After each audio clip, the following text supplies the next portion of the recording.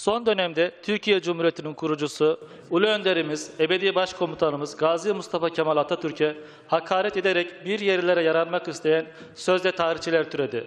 Hakareti tarih saranlara nasıl yanıt verilir diye düşünürken çok da benim tarzım olmasa da teyzen Tevfik geldi aklıma. Bakın teyzen Tevfik ne demiş? Esir iken mümkün müdür ibadet? Yatıp kalkıp Atatürk'e dua et. Senin gibi dürzülerin yüzünden, dininden de soğuyacak bu millet. İşgaldeki hali sakın unutma. Atatürk'e dil uzatma sebepsiz.